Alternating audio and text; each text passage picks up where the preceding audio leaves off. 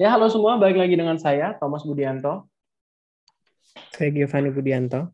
Oke, jadi kali ini kita bakal ngebahas lagi, yaitu Nicholas Sean Purnama. Ya, oke. Jadi, kalau video-video sebelumnya, kita banyak lebih kontra sama Nicholas Sean, tapi kali ini kita bakal, saya terutama, bakal attempt untuk membuat Dede mendengarkan ide-ide dan prinsip-prinsipnya si Nicholas Sean ini, berdasarkan interviewnya atau ngobrol-ngobrolnya sama si Deddy Corbuzier yang video yang barusan aja keluar ini. Jadi Koko ada beberapa poin yang Koko setuju. Koko setuju sama si Nicholas Sean. Nah, Dede coba dengar okay. mengerti ya. Jadi kayak want to marry dumb girls. Oke, itu pasti dibahas nggak sih? Saya saya sejujurnya belum melihat secara penuh. Hanya ngeliat potongan-potongan FYP yang lewat di situ dan cukup kontroversial. Ya, I want to marry dumb girls. Jadi kalau Koko sih setuju ya. Setujunya itu gini, itu berdasarkan uh, dia bukan bilang yang bodoh sekali, bukan. Habis itu juga berdasarkan preferensi orang. Kalau menurut Koko sebenarnya bukan dumb girls maksudnya si Nicholas Sean ini. Maksudnya itu bukannya alpha. Bukan hmm. yang ngelit kalau maksudnya dia sebenarnya ya di bawah dia ya mungkin maksudnya. Uh, bukan di bawah dia, cuma maksudnya yang mau kooperatif lah, yang mau submisif lah, yang yang mau ikut apa kata dia. Hmm, hmm. Maksudnya tuh gini loh, kayak misalnya kita punya goal ya, Koko punya goal nih, Koko mau jadi pengusaha, apa pun whatever it takes gitu kan. Kalau kita punya istri yang ah enggak, aku mau buang-buang uang, nggak mau nyimpan uang buat muter lagi jadi usaha gitu. Ngerti ngerti nggak maksudnya? Maksudnya kita punya untung kan kita putar lagi buat modal usaha kan ya, ya. contohnya. Ya. Cuma kalau kita punya istri yang punya tujuan tertentu atau mau ngabis-ngabisin uang itu kan nggak bakal jalan kan. Hmm. Nah maksudnya si Nicholas Sean ini lebih ke arah kayaknya ya. Kalau menurut pendapat koko dia tuh lebih cari yang bukan alfa juga karena dia alfa. Menurut dia. Karena biasanya traits orang pintar karena kebalikannya dari bodoh ya ini ya. kata-kata ya. Nicholson traits orang dari yang pintar itu hmm, biasanya opinionated sendiri ya. Dan keras kepala. ya. Keras kepala. Nggak ya nggak ngikut. Nggak semudah itu ngikut orang lain gitu loh. Dan kalau dia memang orangnya dia kan nggak kompromis katanya. Oh ya betul. Kalau kamu maunya seperti itu koko sih setuju. Maksudnya kalau koko sendiri mau hmm, gimana? Kalau koko sih suka cewek pintar ya. Tapi kalau misalnya Tapi kalau memang yang ngelit satu orang ya memang harus ada satu orang aja, nggak bisa dua orang. Hmm. Uh, gimana? Tapi kalau kalau kalau statement itu sih sebenarnya dalam setiap hubungan pasti harus ada yang ngelit satu orang, bukan dua orang. Ya bukan semua hal juga. Dalam hal-hal yeah. tertentu gitu harus ada yang ngelit. Iya. Tapi sebenarnya seakan, uh, kalau kalau gitu pembelaannya seakan-akan bahwa dalam hubungan itu diperbolehkan adanya dua dua yang ngelit dong. Enggak, justru justru si Nicholas Sean ini tidak mau seperti itu. Makanya dia cari hmm. cewek dam. Hmm, oh. Tapi sebenarnya orang-orang yang nggak dam pun bisa kok salah satu mau di ah, salah satu ngelit salah satu enggak. Ya dia maksudnya di, di, di, ya dipermudah aja lah. Dia juga nggak bilang yang bodoh banget, tapi nggak usah yang terlalu pinter gitu maksudnya. Hmm. Yang biasa-biasa aja lah gitu katanya. Cuman supaya kalau menurut kok kayak kontroversial, I prefer dumb girls gitu. Biar kontroversial, kayak ngejual gitu nanti, kayak meme gitu loh deh. Hmm. Iya, iya gak sih? Karena kalau... sadly, ya karena sadly dia belum punya sesuatu untuk dijual ya selain itu kontroversi. Debat, debatable. Anaknya hmm. Ahok ya, jadi sudah bisa ada yang dijual sih anak Ahok sebenarnya. Dari dirinya sendiri. Ya, tapi maksud kok kalau kayak gitu setuju lah Dede harusnya. Kalau memang mau carinya yang maunya yang nurut, ya memang generally cari yang lebih bodoh. Generally. Di atas kertas, secara teori, ya. Yep. Tapi kan karena kita belum melihat uh, secara kenyataan dan faktor-faktor variabel lainnya, nanti bisa beda lagi di kenyataan. Karena yeah. sometimes dumb also can be stubborn. Ya, cuma maksud kok uh, secara generally Dam kan biasanya lebih nurut lah, lebih kayak ya, ya oke okay, gitu kan karena dia mungkin harusnya sadar orangnya mm, dia lebih pinter. Maksudnya si Sean ceritanya lebih pinter ceritanya. Ya ya, makanya. Secara... Ya kalau koko sih setuju kalau kayak gitu karena memang ya seperti itu adanya. Habis itu kemudian kenapa semakin banyak? Nah, kenapa semakin banyak orang yang tidak mau merit seperti Sean? Karena kalau menurut Koko si Sean ini kan dia bilang uh, uh, I can do whatever I want by myself. Jadi dia nggak perlu orang lain gitu loh. Kalau mau nge-sex jerk off lebih gampang katanya. Nggak ada nggak ada sakit nggak keluar uang nggak keluar biaya. Ya benar sih. Nah sama aja sih sama cewek juga. Kenapa menurut koko sekarang cewek juga banyak yang tidak mau merit? Uh, ini uh, nuance koko sorang ya. Jadi menurut pandangan koko sorang uh, sendiri karena cewek sekarang kan lebih mandiri. Semua yang di, dulu diperlukan laki-laki sekarang tidak perlu lagi. Contohnya yeah nyetir lah nyupir. Contohnya dulu perlu ke mana-mana disetirin cowok misalnya. Dulu hmm. cewek pakai rok nggak bisa naik motor nggak enak naik motor contohnya. Kalau dulu kan cowok yang nyetirin. Sekarang kan cewek tinggal pakai grab pakai gojek. Atau kerja karena lapangan usaha lebih terbuka sehingga bisa bayar supir atau whatever. Ya, sekarang kerjaan banyak yang lebih mendukung cewek bahkan modeling, jadi hmm. influencer, jadi uh, Betul, SPG, PR. jadi PR, semuanya yang dicari cewek, lebih preferable cewek kan? Ya, oh enggak tuh saya setuju karena saya pernah bahas sama teman-teman saya yang uh, by the way saya bukan anti feminis tapi saya uh, kurang setuju dengan feminis yang toxic toxic feminism. So please make a differentiate between those two. Dan saya bilang industri sekarang itu memaksa secara nggak langsung memaksa tenaga kerjanya untuk lebih feminis kalau mau adapt to the industry.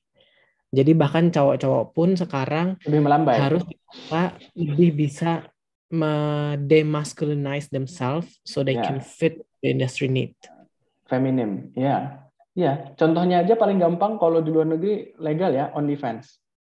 Uangnya sangat banyak jadi OnlyFans itu. Dan itu uh, yang yang paling banyak dapat uang cewek, cowok mah.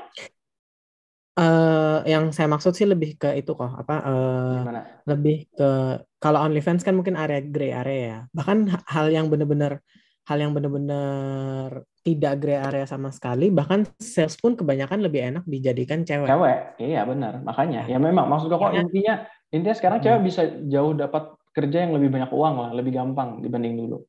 Makanya lebih bisa dibutuhkan sesuai dengan industri. Ya jadi makanya kenapa semakin sedikit orang yang merit dan mau merit karena buat apa? Nggak perlu cowok dan cewek bersama itu tidak perlu lagi sebenarnya kecuali mau punya anak mungkin. Punya anak juga nggak harus merit sekarang. Iya bisa adopt. Atau doing surrogate or surrogate iya. There are so many things. Ya, you can makanya. get a donor. Makanya mungkin kenapa si Sean tidak mau merit ya karena itu juga kan buat apa? Selain dia kepahitan ya hmm. Oke. Okay. Dan man become become soft dia bilang. Man these days become itu. soft. Oh, ini ada ngomong gitu ya? Iya, man these days become soft. Oh. Ya, benar sih. Iya kan, betul kan? Ya, ya itu yang tadi saya bilang. Lebih menjual kayak lu cinta Luna daripada ya, kayak ya, kokoh. Orang ya, ya, ya. biasa gitu. Lu cinta Luna bisa apa? Nggak bisa apa-apa. Bisa apa yang kokoh tidak bisa? Kayaknya nggak ada. Cuman dia kan transgender atau misalnya kayak no no no no, no. you cannot copy her voice oke okay, oke okay. uh, eh, apa ya contohnya maksud kok uh, ya maksudnya menjual lah jadi maksudnya kayak bukan menjelekkan ya cuma yang kayak berbebancian gitu lebih menjual sekarang kayak di TikTok contohnya ya. Itu, itu tadi yang saya... yang banci-bancian lebih menjual. Bukan lebih menjual banyak yang lebih gampang ke jadi maksudnya orang biasa tapi banci-bancian kayak lebih atensinya orang lebih dapat gitu loh. Entah entah atensinya positif atau negatif ya ya mungkin kebanyakan negatif cuma maksudnya dapat atensinya perhatiannya hmm. dapat gitu loh orang perhatiin dia. Habis itu dia juga bilang si uh, Nicola ini sebenarnya nggak ada equality antara cowok dan cewek. Maksudnya gimana kayak kesetaraan gender tuh sebenarnya nggak ada oke okay Terus? Karena sebenarnya cowok itu ada something yang dia at good at, ya kan? In certain uh, areas juga ada ya kalau cewek ya dia punya kelebihannya di areanya sendiri gitu loh. Jadi sebenarnya nggak hmm. bisa disamakan gitu loh. Nggak ada yang kayak setara sama gitu nggak bisa. Ya bener kan? Ya. Kalau misalnya hmm. cewek suruh kelahi sama cowok, 90% mungkin menang cowok. 10% eh ya nggak mungkin nggak sebesar itu ya. Cuma maksudnya rata-rata pasti menang cowok kan. Kalau misalnya ya. cewek suruh jaga anak ya rata-rata mungkin cewek lebih lebih bisa jaga anak daripada cowok. Iya kan? Uh, nursing gitu mungkin maksudnya atau kayak modeling lah. Hmm. Lebih pinter lebih pinter bergaya cowok kan? Eh cewek daripada cowok. Pose pose gitu. Oke. Benar kan? Saya saya ngerti sih yang dimaksud. Hmm. Maksud seperti ini kayak ini coba dikirim ya. Coba nanti di itu, dipasang. Ini loh maksudnya. Lah, maksudnya yang koko bilang tadi setuju lah. Paham. Hmm. Ya kalau cowok disuruh ngelahirin anak kan tidak bisa ya. Iya kan kayak gitu. Jadi ya memang tidak setara dan tidak sama. Nah, punya kelebihan masing-masing lah. Terus kemudian dia juga ada ngomong sama si Dedi kalau TikTok itu alay. Kenapa malah ngedance ngedance di depan kamera gitu kan alay banget kayak sangat menye maksudnya kayak tidak maco sekali gitu loh. Ya absolutely, koko setuju. Hmm. Walaupun koko juga TikTok ya, main TikTok. Dan koko juga memberikan konten TikTok dan absolutely apa susahnya? Di WhatsApp. Ya oke. Okay. Cuma absolutely kalau mau koko apa susahnya kan? Main TikTok nggak susah soalnya. Buat koko menurut koko nggak susah, nggak susah sama sekali. Tapi kenapa begitu? Karena jadi duit, men. Karena kalau orang terkenal sangat terkenal jadi TikTok bisa jadi duit. Dan kita ini kan marketnya itu sudah bukan market apa-apa lagi. Kita tuh marketnya tuh siapa yang bisa pegang perhatian orang, siapa yang bisa mendapat uh, follower, siapa yang bisa membuat orang terpengaruh, influence, itu marketnya zaman sekarang ini. Itu yang jadi duit. Iya kan, jadi kenapa ya mungkin karena keadaannya TikTok ala ya benar sekali. Memang tapi keadaannya kayak gitu, zamannya kayak gini. Ya memang ya makanya kan kita tidak perlu pergi ke perang ya, tidak perlu pergi perang, tidak perlu yang kayak membela diri. Sekarang sudah ada polisi, tidak perlu yang kayak hmm, belajar pakai senjata, pakai pisau, mana kan nggak perlu lagi, nggak perlu berburu, ya kan? Ya hmm. bener sih kalau menurut koko. Tapi itu keadaan, bukan berarti cowoknya nggak maco, bukan. Tapi keadaan yang harus kayak gitu. Hmm. Iya apa enggak? Iya, iya, iya. Ya. Terus dia ada juga ngomong, dia ada ngomong ini dia, dia pasti setuju sih. Dia nggak nggak punya punya anak, karena kids is your weakness kan ya. Iya kan? Dede kan pernah sering bilang malahan, kids is your weakness absolutely juga. Benar. Uh, karena apa ya, walaupun kita dapat bahagia sekali, tapi begitu anak kenapa-kenapa, itu hancur semuanya. Maksudnya itu kita tidak akan bisa fokus, tidak akan bisa... Uh, jadi kalau di film-film, ini contohnya analoginya, kalau di film-film ada yang kayak hmm, jagoannya nih, jagoannya membasmi berbagai macam penjahat. Semuanya mati, semuanya kalah sama jagoannya kan. Penjahat-penjahatnya terus bingung gimana kita ngalahin si jagoannya ini biar dia nggak bisa ngancurin kita kan penjahatnya. Culik aja anaknya. Hmm, ya betul. Selesai, ya kan? Selesai mau apa? Culik aja anaknya nggak bisa ngapa-ngapain langsung. Iya nggak, Dek? Betul, betul. Jadi ya benar sih kalau menurut Koko, kalau kids is your witness. Habis itu uh, I don't really debate on that, but I, I just wanna add something up. Kalau yeah. menurut saya itu benar, benar banget seribu persen. But also at the same time, kids can be your strongest point. Ya, yeah, agree.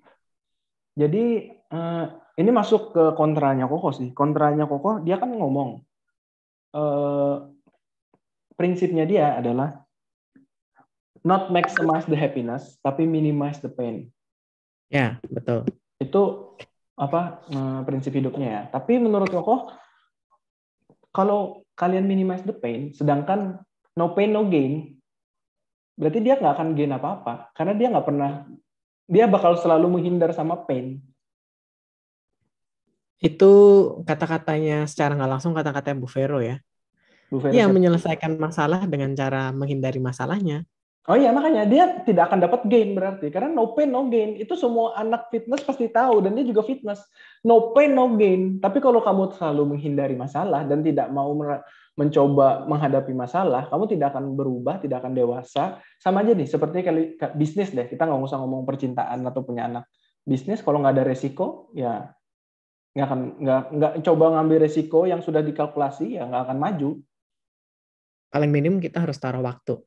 Ya taruh berarti kan ya, ya makanya maksud kok semuanya lah semua hal jadi kan bakal ada pain sebenarnya. Kayak punya anak kayak dia bilang kalau percintaan atau hubungan pacaran tuh kayak investasi bodong. Kalian sudah invest invest waktu invest tenaga invest uang kalau dia nggak suka lagi ya hilang.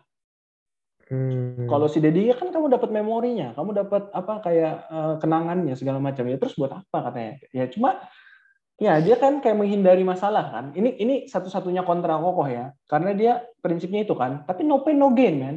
Saya nggak tahu ya, karena dia cuma pernah dia bilang dia cuma pernah pacaran sekali hmm. dan saya nggak tahu berapa lama itu. Dan itu bentar dulu. Ya, kayaknya. Dan itu alasannya usianya usianya dia 23 atau 24. Alasannya apa tau lah? Dia pacaran. Dia cuma mau membuktikan kalau dia bukan incel. incel sama apa ya yang kayak orang di rumah terus yang Cooper yang nerd gitu-gitu loh deh oh ya jadi nggak ada sosial rasa... sosialisasi gitu-gitu loh. Dan tapi kan kalau maksudnya mengingat, tujuannya aja udah salah gitu loh. Hmm. mengingat, mengingat usianya itu saya merasa sepertinya dia belum pernah punya hubungan yang cukup committed satu. Jadi sepertinya kalau dia bilang buat apa ya sebenarnya ya banyak banget yang dia masih belum lihat sih kalau menurut saya. Menurut Jadi kalau kalau saya nangkapnya it's sorry if this is sounds harsh but he's just like a kid that talk about his his view only. Ya cuma He talks according to his view only. Ya cuma menurut Koko ini tuh sangat dewasa untuk masalah kayak stoicism habis itu minimize the pain eh, not, ya minimize the pain not maximize the happiness. Itu menurut Koko sudah sangat dewasa. Cuma ada beberapa hal yang masih sangat ya. kurang ya. gitu loh. Jadi di ya, satu di satu sisinya hmm. sudah sangat maju, sudah sangat dewasa, tapi di sisi lain dia sangat mundur gitu loh. Iya, iya kan? Habis itu kalau Dede bilang iya ada komitmen pacaran, menurutku kan dia sangat komitmen, tapi cuma dia. Pacarnya oh. enggak. Jadinya sakit hati begitu begitu gagal. Tapi bukannya tadi tadi dibilang bahwa dia itu pacaran gara-gara cuman buat pembuktian. Ya enggak, itu salah Bukan karena komitmen Salah satunya, salah satunya. Tapi dia sangat sayang dan sangat cinta, tapi gagal kan sama pacarnya. Hmm. Gagalnya itu karena dia jatuhnya ke arah posesif gitu loh. Dia bilang dia karena ke arah posesif. Punya hubungan walaupun itu gagal, it doesn't mean that you lost something. You gain something you, kan? You you understand yourself much better than before. Jadi and you, you get more wise, mature and whatsoever. Ya, jadi kita juga bisa lebih tahu lagi. Oh, kalau punya pasangan kita cari yang seperti ini. Iya, belajar ya, berdasarkan ya, belajar berdasarkan pengalaman yang gagal gitu kan? Ya, makanya tadi saya bilang kayaknya dia ini satu mengingat usia masih segitu juga terus seperti dia nggak punya banyak pengalaman jadi dia bicara berdasarkan pengalaman yang sangat minim itu tadi makanya ya. tadi aku saya bilangnya kid tapi di satu sisinya sangat mature sih. Koko akuin pada waktu umur segitu Koko belum ada kepikiran sedikit pun sama kayak stoikism apa segala macam tuh Koko udah ngerti. Jadi Koko kayak orang ngomong apa Koko anggap, Koko pikirkan. Padahal kan ya kita ngapain mikirin apa kata orang kan. Dia sudah melewati melewati itu gitu loh. Sudah ngerti masalah itu semua. Ya, hmm. itu sih. Kalau menurut Koko sebenarnya nggak terlalu banyak. Nggak terlalu banyak yang sebenarnya kita beda pendapat sama si Sean menurut Koko. Karena kan itu inya kan itu dia kan sebenarnya nggak masalah. Iya, nggak ada yang salah dengan dia punya pendapat ya terserah dia. Iya, cuma cuma di satu sisi kayak sangat sedih sekali gitu loh. Di satu sisinya sangat dewasa, di satu sisi lain dia sangat tidak paham itu gitu loh. Yang kayak kata Bu Vero, menyelesaikan masalah dengan menghindari masalah. No pain, no gain, man. Oke. Ada lagi deh, kalau menurut Dede, kok sih sudah lah, cukup itu. Apa bagian kalau orang tua meninggal itu? Oke, boleh. Gimana tuh? Kalau Pak Ahok uh, meninggal, dia kayaknya nggak akan nangis katanya. Nggak tahu ya. Uh, gini, saya tuh juga karena untuk saat ini saya setelah hasil tes berulang kali hasilnya adalah INTJ, somehow saya tuh bisa ngerti jalan pikirannya orang yang logikanya berlo eh, yang overly logic logic. Cuman hmm, even that saya nggak terlalu paham jalan pikirannya yang bagian statement itu. Ini maybe karena gini, ya? karena gini kalau Dede misal nih kalau misal berhubungan terus putus, jujur Dede dari dulu selalu bertanya-tanya lah kenapa kamu harus sedih berlebihan. Sedih pasti, tapi berlebihan dan berlarut-larut ngapain? Karena kan kalau putus kan most likely adalah konsensus dari kedua belah pihak yang kita merasa bahwa this is the best for the both of us. Dan kalau memang itu sudah diputuskan that this is the best for the both of us, means you already choose what's the best for both of you. So there's nothing that you have to be sad too much, too long, buat apa gitu loh. Kan kita sudah sepakat bahwa ini yang terbaik. Tapi nggak nangis sama sekali kayak set psikopat ya kan sih? Apakah iya, saya psikopat? Sedih saya sedih cuman nggak sampai berlarut-larut yang kayak kayak orang-orang uh saya harus ber... nggak juga nggak sampai segitunya nah cuman kalau bagian yang dia bilang kalau orang tua yang meninggal terus dia bilang maybe I'm not gonna cry saya agak bingung juga karena kan masalah kamu nggak tahu kapan akan meninggalnya this is not the consensus between you and God that when you agree that your parents are gonna be gone right yeah. Yeah. Jadi kayak aneh aja kalau dia bilang enggak, kan saya sudah tahu. Gimana caranya kamu tahu coba? Ya, ya, ya. Jadi gini, kalau kalau menurut Koko, karena dia belum merasakan kehilangan orang yang disayanginya. Contoh keluarga dekat loh ya. Dia belum merasakan itu deh. Jadi maksud Koko, ini beda kayak cerai, beda sama masuk penjara. Sangat-sangat beda. Iya, kalau itu kan kamu sudah melihat karena konsekuensi yang dia pernah ngomong. Iya kan, kan dia udah tahu konsekuensinya ini. Kalau perceraian juga nggak ujuk-ujuk tiba-tiba cerai. salah cerai. Pasti sudah bisa kelihatan, ada polanya, ada arahnya Nah kalau itu misalnya kenapa-napa dengan orang terdekat, menurut saya nggak ada orang yang bisa siap.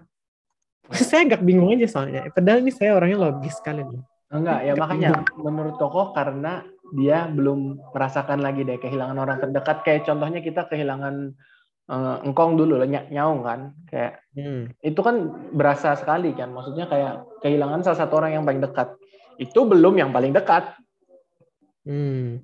Iya kan? Jadi kalau dia belum merasakan aja sih menurut tokoh. Maybe-nya itu uh, dia cuma kayak act, after, act as a tough guy gitu loh deh. Act as tough guy. Makanya saya tuh nggak bisa mengesampingkan pikiran bahwa you're just arrogant, that's all, that's it. Saya nggak bisa mengesampingkan pikiran itu gitu loh. Iya iya iya, karena ya gitulah. Oke, ada lagi deh, karena ini kita sebenarnya sepemikiran sih menurut gue ada lagi ya. Lucu. Ini kita bahas Sean terus karena hmm, Nicolas Sean ini sebenarnya bukan kayak kontroversial ya kalau menurut Koko. Karena kalau di luar negeri banyak yang kayak dia. Red pill, maksudnya kayak yang stoicism itu black kayak pill. ya ya mengarah ke black pill. Cuma maksud Koko Uh, bukan sesuatu yang kontroversial, cuma mungkin di Indonesia kontroversial karena belum ada yang terang-terangan ngomong belak-belakan kayak si Nicolas Sean. Makanya kita bahas terus, ya kan? Hmm. Uh, gimana? Sebenarnya banyak banyak pasti yang yang punya pikiran kayak Nicholas Sean. Bedanya dia hanya anak kebetulan anak Ahok aja. Iya, iya, iya. Saya berusaha mereduksi seberapa importansinya ini orang soalnya. Kalau Koko sih, uh, maksud Koko potensinya besar Sean ini. Jadi orang yang hebat, ya. cuman uh, dia harus aware sama weakness-nya gitu loh. Dia harus aware sama surrounding lah sama saya. surrounding, sama weakness, sama kelemahan dan kekurangannya. Karena ini menurut aku kelemahan dan kekurangannya belum sadar kalau di dunia ini masih sangat banyak yang never say never lah. Dan dunia tuh nggak cuma hitam dan putih, bro. Ya, ya. Jadi potensinya besar sebenarnya. Oke, sampai sini dulu. Oke, videonya kalau si Nicholas nonton, saya mendukungmu. Oke, anak Mahok. Kalau kalau buat saya belajar lagi. Oke, okay? uh, jangan lupa subscribe, like, dan komen. See you at the next video. Bye-bye.